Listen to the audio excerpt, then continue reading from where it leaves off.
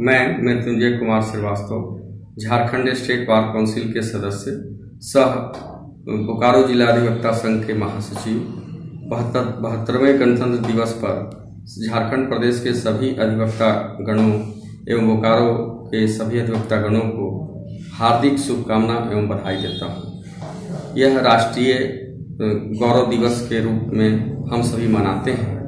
इस वीरों एवं शहीदों के कृतों को हम सभी याद करते हैं। इस पावन बेला में हम सभी बोकारो एवं झारखंड प्रदेश के अधिवक्ता गणों को यह वचन देता हूँ कि अधिवक्ता के हितों के कल्याणार्थ मैं इस राष्ट्रीय दिवस के अवसर पर संकल्पित अपने आप को करता हूँ कि उनको अधिक से अधिक उनके कल्याणकारी योजनाओं और हितों की रक्षा करूँगा।